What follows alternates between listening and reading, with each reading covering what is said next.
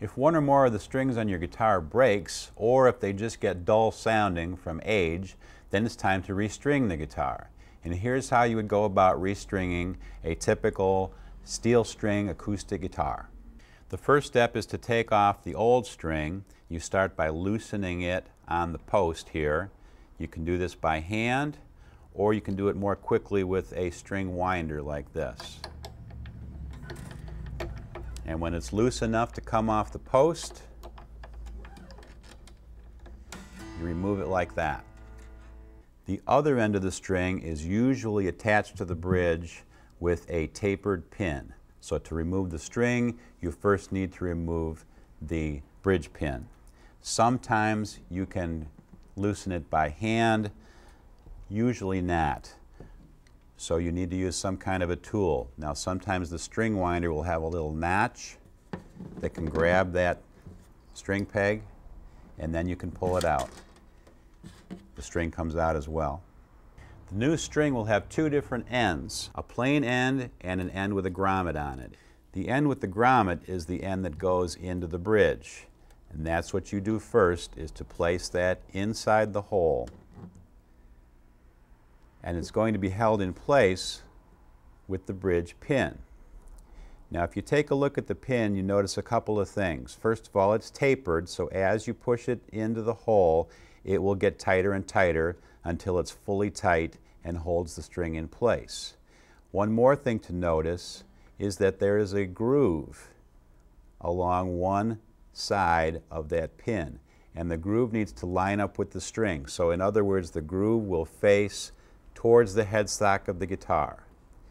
So we're holding it in that position, you push it in until everything tightens up. Pull on the string a little bit to make sure it's firmly seated, and now that end is ready to go. Now that the string is secured on the bridge end, you proceed to connect it to the headstock of the guitar, to the post on the machine head, and you pass the plain end of the string through the hole in that post, bring it through, not all the way tight, but leaving some slack. And you'll develop a knack for how much slack to leave.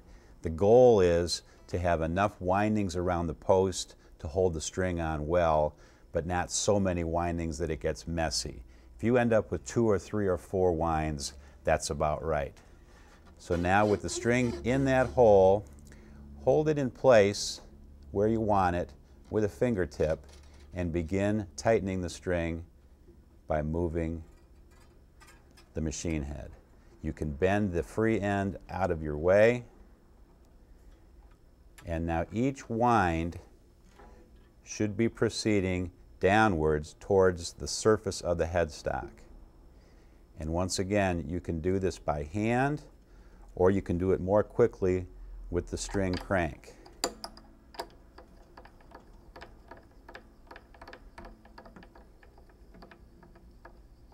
Keep your tension with your right hand as you wind with your left hand.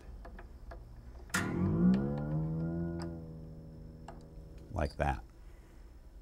Once the string is mounted on the guitar, it's a good idea to stretch it out because there's a little bit of extra flexibility in a string when it's new. If you don't stretch it ahead of time, it'll stretch while you play and go out of tune. So I'm just going to stretch this string by grabbing it with my fingertips pulling towards me and pushing the other way with my thumb. And you would just move your hand up and down different places on the string, recheck the pitch, bring it to where it's supposed to be, do that stretching technique one more time, check the pitch again, by the time you've done that a couple of times, you've pretty much taken all the stretch out of the string and it will now be stable for pitch. The final step here is to trim the free end of the string with a wire cutter tight up against the post and you're set. You use the very same technique that you used for that string for all six of the strings. And once you've gone through all six, mounted them all, stretched them all, retuned them all, you now have your nice live sound back and you're ready to go.